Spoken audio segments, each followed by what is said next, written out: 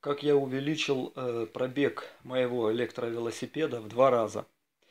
Э, об электровелосипеде складном я уже рассказывал в предыдущем видео. Ну, вот он. Э, мотор-колесо установлен впереди. 24 вольта, 350 ватт.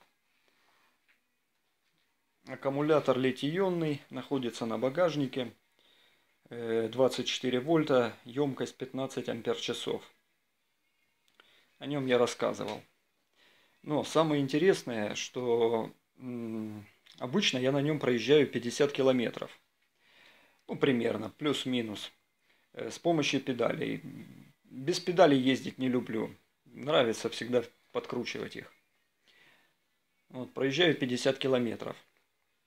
Э, но самое интересное место, куда я езжу, оно находится на расстоянии 40 километров от города.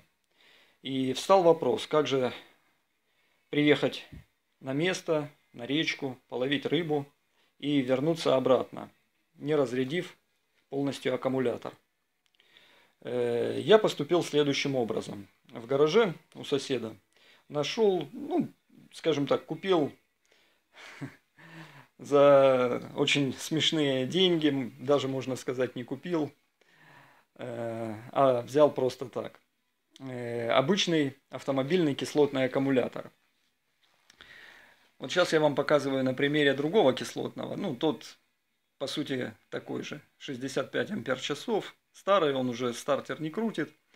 Э, его я привез на мое место, где я рыбу ловлю.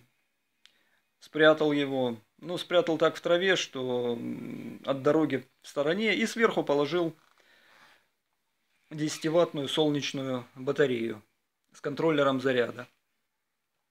То есть она, в принципе, лежит на том месте вот так. Закрывает от дождя аккумулятор. Э, за неделю полностью заряжает аккумулятор. И когда я приезжаю раз в неделю туда, аккумулятор полностью заряженный.